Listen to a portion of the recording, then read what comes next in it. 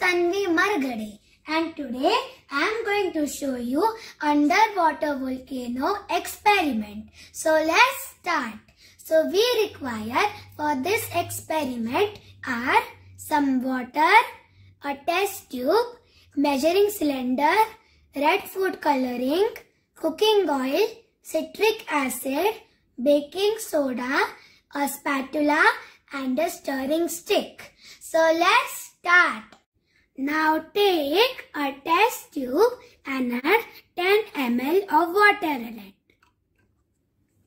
Then add some red food coloring. We are going to mix it well. I mixed it properly and now we are going to add a scoop baking soda in it. Then we are going to add 20 ml of oil.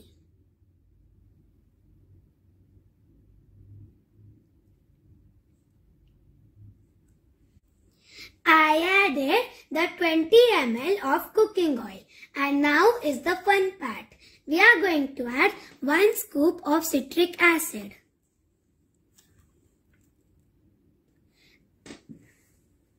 The baking soda will come up and look a volcano. Do you know why this happened? Let's find out the logic. Bubbles of carbon dioxide are released.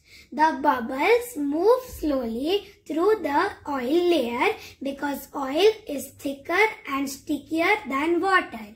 This property of oil is called viscosity. So this is how to do underwater volcano experiment. Thank you for watching this video. Till that time, bye-bye.